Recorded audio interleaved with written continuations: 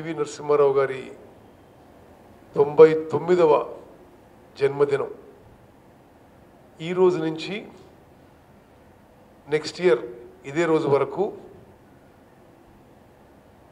గౌరవనీయులు మా ప్రియతమ నాయకురాలు ఏఐసిసి అధ్యక్షురాలు సోనియా గాంధీ గారి ఆదేశాల మేరకు ఈ సంవత్సరం పాటు పివి నరసింహారావు శత జయంతి వేడుకలు కాంగ్రెస్ పార్టీ ఘనంగా నిర్వహిస్తుందని చెప్పి నేను సంతోషంగా తెలియజేస్తున్నాను.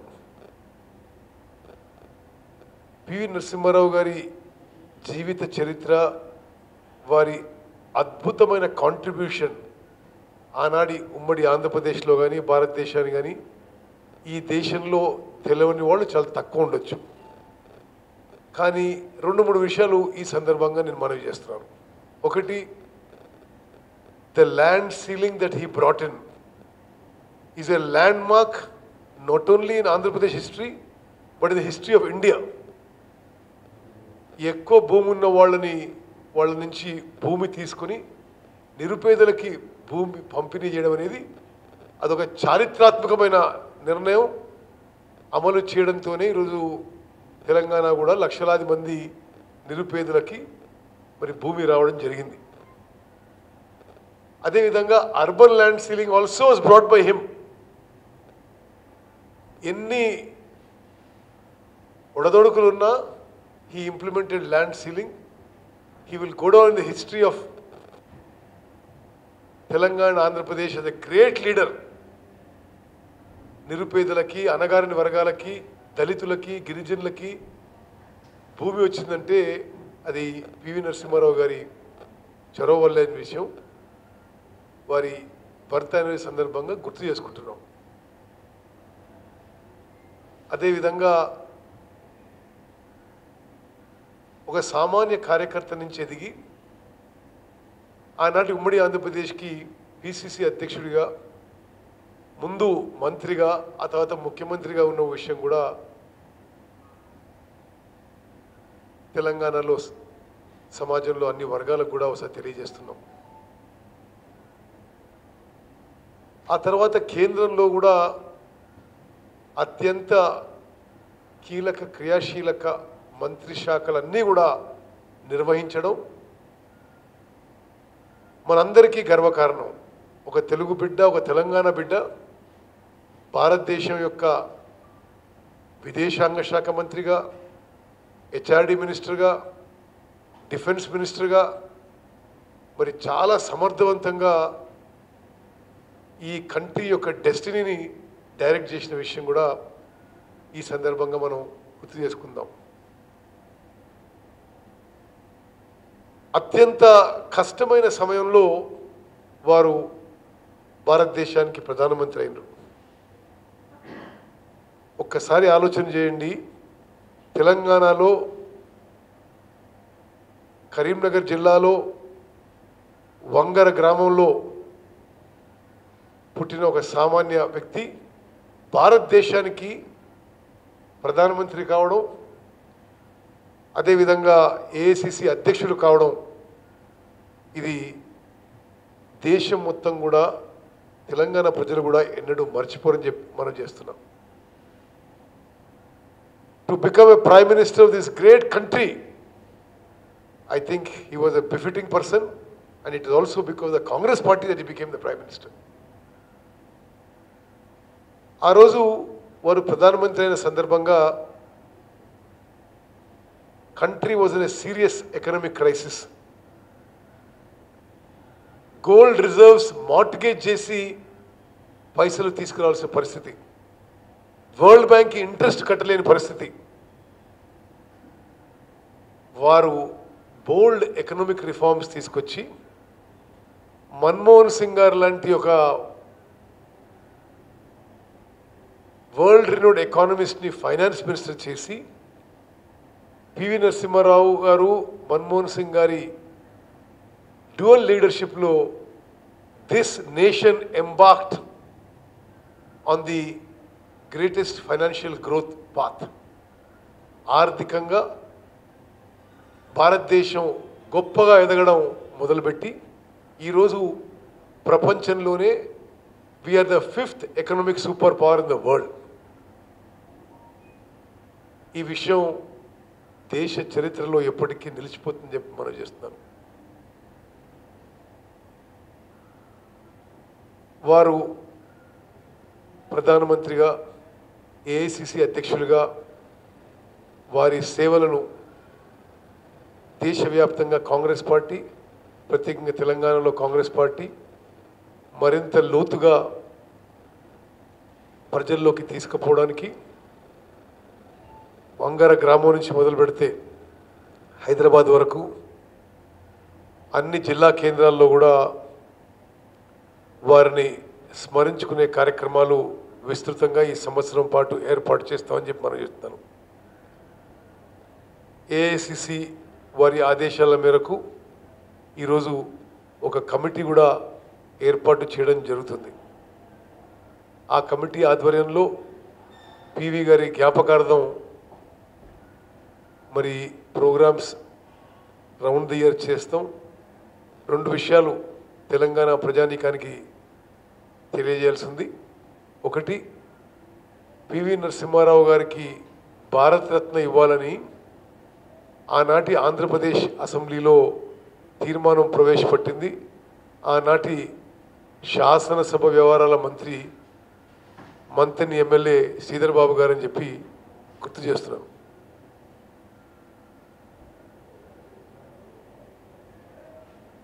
అదేవిధంగా ఆ తర్వాత మరి రెండు వేల పద్నాలుగు నుంచి అక్కడ మోదీ గారు ఇక్కడ కేసీఆర్ గారు ఉన్న మాట కూడా మేము గుర్తు చేస్తున్నాం. పివి గారి జ్ఞాపకార్థం ఎయిర్పోర్ట్ పోయే అత్యంత ప్రతిష్టాత్మకమైన most prestigious flyover express way ఏషియాలో బిగ్గెస్ట్ ఫ్లైఓవర్ పివి నరసింహారావు గారి నామకరణం చేసింది కూడా కాంగ్రెస్ ప్రభుత్వం అనే విషయం కూడా గుర్తు చేస్తున్నాం. ఎవరు పివి గారి కీర్తి పెంచే విధంగా కార్యక్రమాలు చేసినా Congress party heartfully we welcome it. P V garu మా మనిషి. అను అనువున నర నరాన కాంగ్రెస్ వాది తెలంగాణ బిడ్డ మా అందరికీ ఒక గురువు ఒక గ్రేట్ మ్యాన్ నాకు పర్సనల్ కూడా పివి గారు నేను వ్యక్తిగత అభిమాన్ని. నేనంటే కూడా ఆయన చాలా ఇష్టపడేవారు. నేను భారత రాష్ట్రపతి కార్యాలయంలో పనిచేసినన్ని రోజులు అనేక సందర్భాల్లో వారితో సుదీర్ఘంగా సుదీర్ఘంగా వారితో చర్చించడం అనేక అంశాలపై వారు భారత ప్రధానిగా ఉన్నప్పుడు దానికంటే ముందు దాని తర్వాత కూడా నేనంటే చాలా ఇష్టపడి అనేక సందర్భాల్లో మాట్లాడి సుదీర్ఘంగా చాలా విషయాల మీద మాట్లాడేవాళ్ళం. నేను అనేక విదేశాలకి అఫీషియల్ టూర్స్లో పోయినప్పుడు కూడా నేను భారత రాష్ట్రపతి ఎమ్మడి పోయినప్పుడు వారు అకంపెనీంగ్ మినిస్టర్గా రావడం అనేక సందర్భాల్లో కూడా కలిసి ప్రయాణం చేసిన విషయం కూడా నేను మనవి చేస్తూ he was truly a great man we will remember him for ever వచ్చే పార్లమెంట్ సెషన్లో తప్పనిసరిగా పివి గారికి భారతరత్న ఇవ్వాలని చెప్పి నేను కూడా స్వయంగా మాట్లాడతానని చెప్పి కూడా మనవి చేస్తూ వారి కుటుంబ సభ్యులతో కూడా నాకు అత్యంత సన్నిహిత సంబంధాలు ఉన్నాయి తప్పనిసరిగా అన్ని కార్యక్రమాలకి వారిని కూడా ఆహ్వానించి మేము పివి గారి యొక్క మెమరీని స్మరించుకుంటాం. We will pay glorious tributes to P V on his hundred birth అనే సెలబ్రేషన్స్ మిత్రులారా రెండు వేరే విషయాలు. ఒకటి రేపు ఇరవై తొమ్మిదో తారీఖు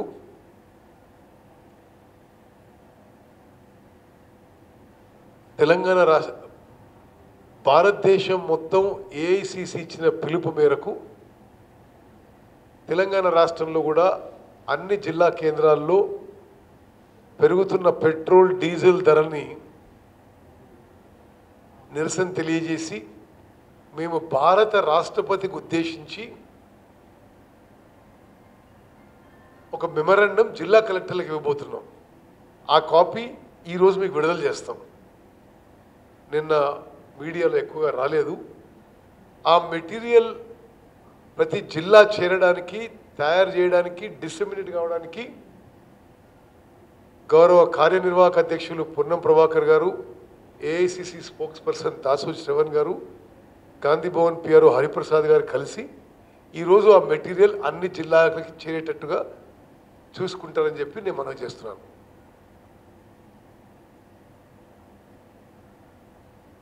తప్పనిసరిగా పోలీసులు ఇటువంటి ప్రజాహిత కార్యక్రమాన్ని అడ్డుకోవద్దని చెప్పి కూడా బహిరంగంగానే విజ్ఞప్తి చేస్తున్నాం. ఇది ప్రజలకు సంబంధించిన విషయం.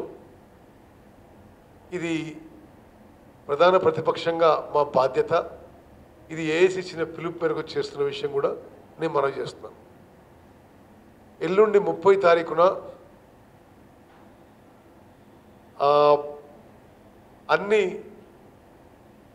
జిల్లా కేంద్రం అండ్ అసెంబ్లీ కాన్స్టిట్యున్సీ హెడ్ క్వార్టర్స్లో కరోనాలో కరోనా కంటైన్మెంట్లో టీఆర్ఎస్ ప్రభుత్వం వైఫల్యాలను ఎండగడుతూ వాళ్ళు తికమక అయిపోయి వాళ్ళు కన్ఫ్యూజ్ అయిపోయి జనాన్ని కన్ఫ్యూజ్ చేసేసి అసలు ఎవరికి అర్థం కాని పరిస్థితి అలా ఈ కరోనా విషయంలో. అది ఆ విషయాన్ని ఏ విధంగా టీఆర్ఎస్ ప్రభుత్వం కరోనా కంటైన్మెంట్లో వైఫల్యం చెందిందో ముప్పై తారీఖున అన్ని జిల్లా కేంద్రాల్లో అసెంబ్లీ కాన్స్టిట్యున్సీ హెడ్ క్వార్టర్స్లో కార్యక్రమం నిర్వహిస్తామని చెప్పి నేను మనం చేస్తున్నాను ఇరవై తొమ్మిదో తారీఖు రేపు నిరసన తెలియజేస్తాం రిప్రజెంటేషన్ ఇస్తాం. ముప్పై తారీఖున కరోనా ఫెయిలియర్ సెషన్లో ఆ material covid task force chairman మరిశేషర్ garu తయారు చేస్తారు. అది కూడా అన్ని జిల్లాలకి కాన్స్టిట్యున్సీ పోటీ చేసిన ఎమ్మెల్యేలకి ఇన్ఛార్జీలకి చేరే విధంగా మరి పొన్నం ప్రభాకర్ గారు దాసోజీ శ్రవణ్ గారు హరిప్రసాద్ గారు ప్లీజ్ టేక్ కేర్ అని చెప్పి నేను మనవి చేస్తున్నాను. ఆ తర్వాత ఒకటి రెండు తారీఖులో ఏం ప్రోగ్రాం లేదు. మూడో తారీఖున రాష్ట్ర ప్రభుత్వం విద్యుత్ బిల్లులతో సామాన్యులపై ఒక బాధుడు బాదుతుంది జనం ఓవర్ మొత్తుకుంటున్నారు. కానీ ఈ ప్రభుత్వంలో పెద్ద మనుషులు ఎవరు స్పందిస్తలేరు. రెండింతలు మూడింతలు నాలుగింతలు వచ్చింది బిల్లు. మేము ప్రభుత్వానికి ఆ ప్రోగ్రాం ఏంటిదంటే ప్రభుత్వానికి మేము డిమాండ్ చేస్తున్నాం కోవిడ్ నైన్టీన్ లాక్డౌన్ పీరియడ్ వరకు బీపీఎల్ కుటుంబాలకి కరెంట్ బిల్స్ ఎగ్జెంప్ట్ చేయాలి పూర్తిగా. ప్రతిమ వారికి నాన్ టెలిస్కోపిక్ నుంచి టెలిస్కోపిక్ బిల్లింగ్ సిస్టమ్ రావాలి. అంటే మీకు విషయం చెప్తున్నా. వంద యూనిట్ నేను ఒక ఓన్లీ ఎగ్జాంపుల్ చెప్తున్నా. వంద యూనిట్ల వరకు రూపాయిన్నర అనుకోండి ఛార్జు వంద ఒక యూనిట్కి ఆ మూడు రూపాయల ఛార్జ్ మొత్తం యూనిట్లకి వేస్తున్నారు సో మూడు నెలలకు ఒకసారి బిల్ వేసేసరికి ఒక్కొక్కరికి రెండింతలు మూడింతలు నాలుగింతలు. మరి కేసీఆర్ గారి ప్రభుత్వం కరెంటు బిల్లు విషయంలో ఇంత అమానవీయంగా ప్రవర్తించొద్దని చెప్పి మేము విజ్ఞప్తి చేస్తున్నాం. మేము మళ్ళీ మా డిమాండ్ కూడా స్పష్టంగా చెప్తున్నాం.